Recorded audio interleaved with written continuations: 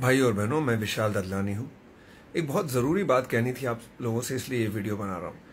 कुछ दिनों से देख रहा हूँ कि कुछ लोग सी की एक्सप्लेनेशन दे रहे हैं कि ये बहुत ही सेक्युलर बिल है। चलो, एक मिनट के लिए आर्ग्यूमेंट सेक के लिए हमने मान भी लिया कि इसमें कोई जाति, धर्म का कोई डिस्क्रिमिनेशन नहीं है। चलो, आगे बढ़ते हैं।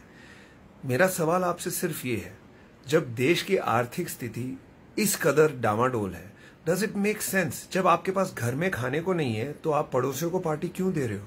Does it make any sense जब इंडियन यूथ के पास जॉब्स नहीं है, जब इंडियन फार्मर्स सुसाइड कमिट कर रहे हैं तो आप बाहर से लोगों को इनवाइट क्यों कर रहे हो?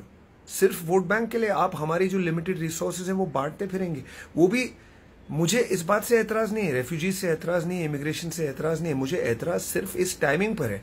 मतलब ये क्या सोच रहे हो, क्या समझ रहे हो? किस तरह से लोगों को गुमराह कर रहे हो आप? It doesn't make any sense